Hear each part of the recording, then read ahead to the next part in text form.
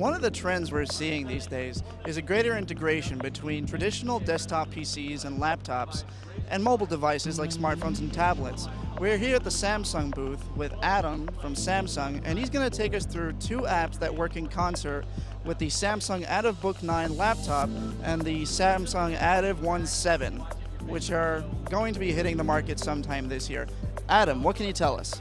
So what we're showcasing here, if you go into the applications, is going to be what we call Samsung Link. Now with Samsung Link, you get quite a bit of functionality and integration between the two products. What you're going to see here is I'm actually going to be able to power on this all-in-one PC directly from my phone. So if I'm traveling, if I'm away and I'm over Wi-Fi and there's something I want to access on this product, I would just use the application and you can see right now the unit's powering up to, uh, to access that information or those files.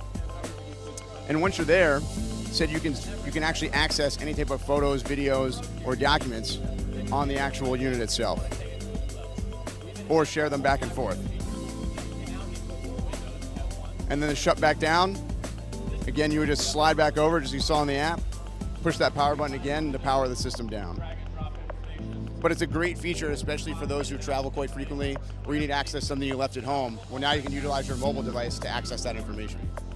But there's another app you have to show us, right? There is. That other application, if we go into the desktop, we're going to enable what we call SideSync. What SideSync allows you to do, oh, you'll have to excuse me,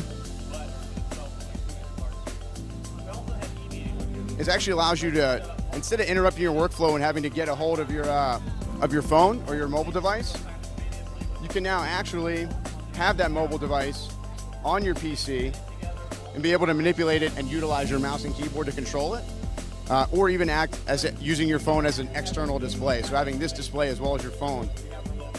And you'll see right now, you see how the phone is replicated on the PC. But I can then do this as well from the computer. So if your phone's charging in another location where you don't want to have to stop and unlock the screen to answer that email or text message, now you can do it directly from the unit, even open applications, check your email, send text messages, whatever you want.